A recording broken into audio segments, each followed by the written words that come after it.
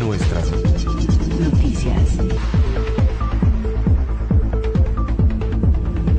Noti- Viene una temporada muy seca en este año que es el fenómeno del niño. ¿Cómo Mm.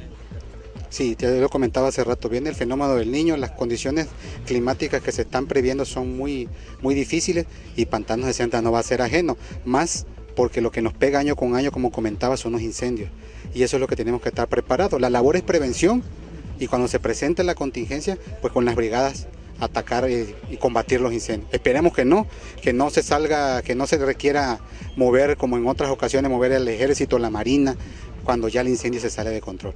¿sí? Muy bien, en en ese aspecto, ¿cómo los ciudadanos pueden contribuir a esa prevención? Pues de, eh, prevención, pues eh, siendo nuestros portadores en cuanto a, por ejemplo, no tirar colillas de cigarros a la orilla de la carretera, evitar los incendios, sensibilizar a la gente que no debe eh, no comprar fauna, principalmente la fauna, la fauna de tortugas que se deriva de la cacería a través de los incendios, ¿no? evitando adquirir fauna que fauna de tortugas, cocodrilos, que como sabemos la mayoría es, es capturada de esa forma. En ese aspecto también usted nos comentaba algo eh, muy bueno, que a diferencia del año pasado ya los recursos están para enfrentar los incendios. Sí, ya, los recursos están ya para iniciar con las labores de, de las brechas, de las brechas que protegen las zonas más importantes del área, que son las zonas de selva, las zonas de nidos de aves. Ahorita tenemos temporada de, de anidación de aves, es importante proteger esa zona.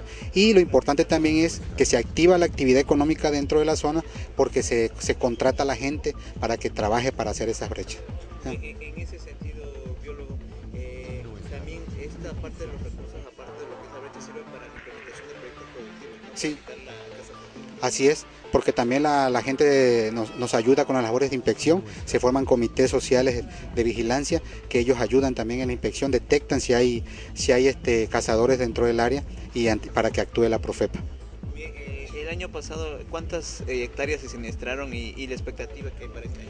Fueron 4.500 hectáreas que se siniestraron y nosotros esperamos que se mantenga, pero como te digo, no son cuestiones previsibles por las condiciones que se van a, se van se van a incrementar.